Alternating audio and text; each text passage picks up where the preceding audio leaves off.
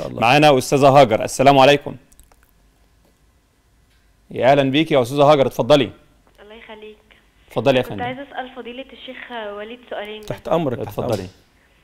آه، إزيك يا فضيلة الشيخ؟ يا أهلا وسهلا يا أستاذة.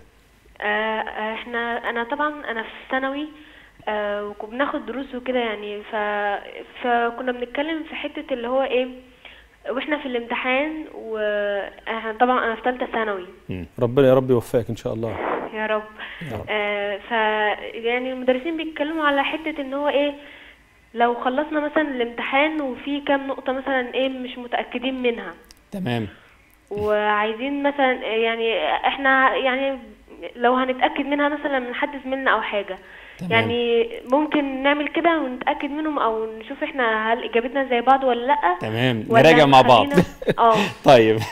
لأ بس يعني في حاضر. يعني في كذا نقطة بس اللي إحنا مش متأكدين منها. تمام. ده السؤال الأول. السؤال الثاني السؤال التاني آه كنت آه قبل الفجر كنت بصلي آه ركعتين يعني قبل الفجر. كانت آه يعني ما كانش يعني كان كل بقى نايم وكده فأنا وأنا بصلي يعني يعني آه كنت خايفة وكده فحاسة إن في حد ورايا أو حد جاي. ورايا فالتفت مرتين.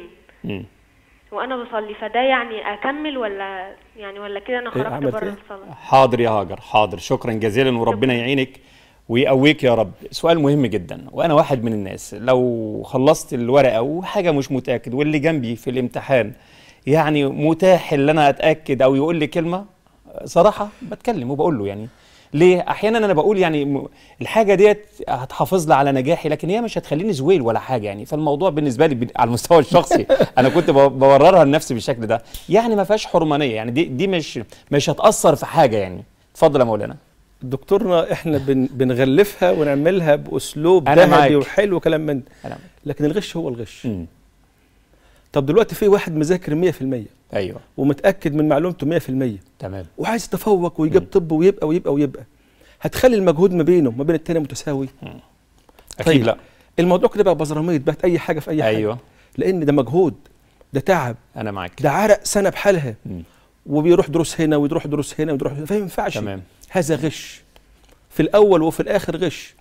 ده ربنا سبحانه وتعالى ممكن بعد كده لو أنت تجنبت هذا الأمر أيوه. يبارك لك في الكليه اللي انت فيها جميل. ممكن تتفوقي وتبقى معيدة وتبقى دكتورة وتبقى وتبقى, وتبقى بس ده بمجهودك مم. مش بمجهود شخص آخر تمام الغش طيب. قال صلى الله عليه وسلم من غشنا فليس فليس. منا تمام. ما نجيش نغلفه ونزوقه أنا. ونحط له مش عارف إيه. لا هو هو الغش غش أنا معاك يا مولانا